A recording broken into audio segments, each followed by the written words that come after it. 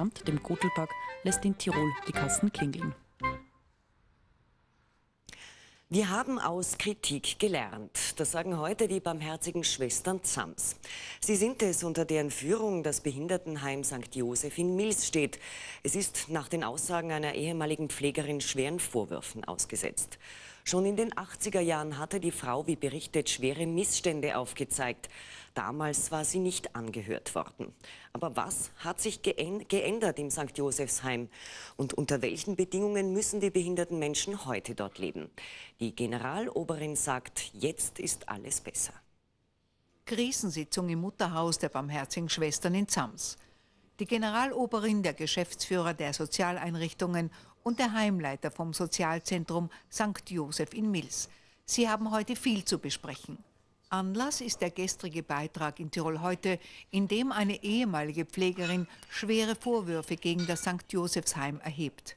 Zu beschönigen gäbe es nichts, aber inzwischen seien 30 Jahre ins Land gezogen und da sei viel an Umdenken und an Aufbauarbeit passiert. Es hat Sachen gegeben, die nicht in Ordnung waren, sei dahingestellt, wie sie im Kontext jener Jahre ausschauen.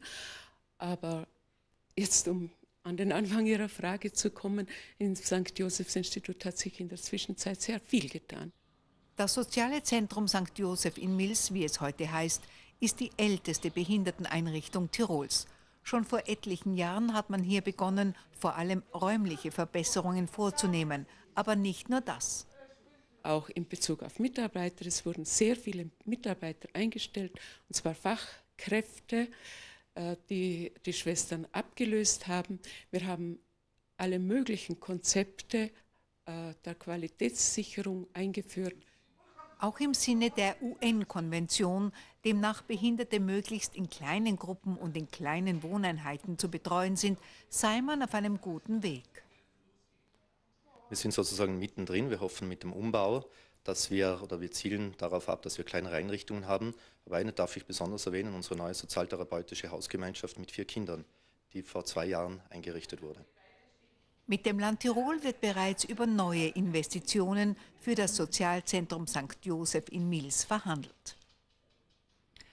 Und bei mir in Tirol heute Studio begrüße ich jetzt Professor Volker Schönwese vom Institut für Erziehungswissenschaften. Schönen guten, guten Abend, Herr Professor. Wir haben jetzt gehört von der Führung des St. Josephsheim, was alles getan worden ist. Wir haben gehört, dass für Österreich die UN-Behindertenrechtskonvention gilt und zwar seit September 2008. Ist das jetzt in diesem Heim auch alles so, wie es diese Konvention vorsieht? Sicher nicht, weil die UN-Konvention äh, verlangt ja, dass die betroffenen Personen selbst entscheiden können, wo sie wohnen.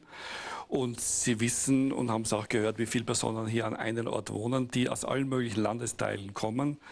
Und wie sind die dorthin gekommen und wie kommen neue Personen dorthin?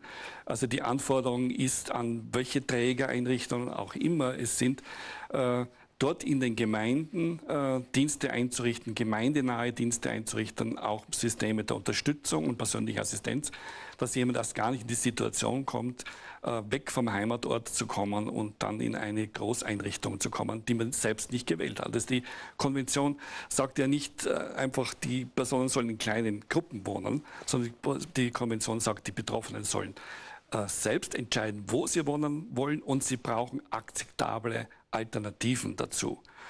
Und äh, wo sind die Einrichtungen, die dem folgen? Äh, das ist die Aufgabe und die Frage, die an die Einrichtungen zu stellen ist, auch an die Schwestern. Es ist ja da keine Einrichtung ausgeschlossen, wer das, wer das auch und wie das macht. Also wenn die Schwestern dieser Anforderungen entgegenkommen wollen, dann müssen sie sich systematisch umstrukturieren. Das kann auch heißen, dieses Haus in Mills zu schließen, nicht auf heute auf morgen, sondern sich in die Gemeinden hinaus zu bewegen. Ist aber offensichtlich derzeit ja nicht geplant, weil wir gehört haben, auch das Land will weiter in dieses Heim investieren. Ist das sinnvoll? Das ist sicher nicht sinnvoll, sondern investiert werden muss in diese gemeindenahen Dienste, Unterstützungsformen, auch persönliche Assistenz damit Personen auch tatsächlich wählen können, wo sie wollen oder wo sie herkommen.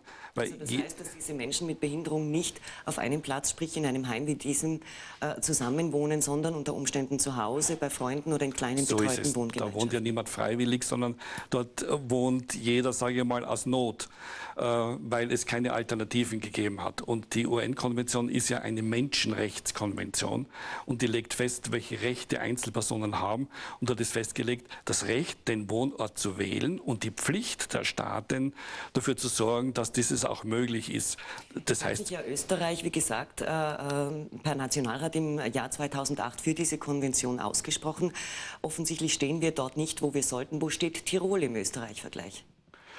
Ja, unterschiedlich. Also das ist bei jeder Region hat also Teilbereiche, an denen man gut ansetzen kann, vor allem auch Personal, das jederzeit willig und auch fähig ist, Umstrukturierungsmaßnahmen mitzuverfolgen und auch zu betreiben.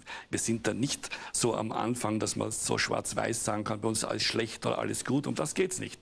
Es geht darum, Rechte von Menschen zu wahren und Weiterentwicklungen zu machen, die ja nicht nur seit der UN-Konvention jetzt bekannt sind. Also das, worum der Konflikt jetzt auch geht bei Mills, das ist ja seit 30 Jahren bekannt. Also wenn jetzt Reformwillen besteht, okay, freut mich. Aber wissen tun Experten das schon seit Jahrzehnten. Und auch international wird seit Jahrzehnten in Richtung Gemeinwesen orientiert. Das heißt, dort, wo die Leute leben oder leben wollen. Ja? So wie jeder andere. Man will dort leben, in, im Dorf, in der Gemeinde, im Stadtviertel, wie jeder andere auch. Warum muss ich weil ich behindert bin, an einen Ort weg von Familie, Freunden und so weiter. Also Hoffen wir, dass auch das in geht's. diesem Sinne die Konvention bald umgesetzt ist. Vielen Dank, Herr Professor, für den Besuch bei uns im Studio. Bitte sehr. Ein Spitzenbeamter, meine Damen und Herren, ein Spitzenbeamter des Landes und gleichzeitig einer, der sehr häufig mit umstrittenen Problemen beschäftigt war, tritt in den Ruhestand.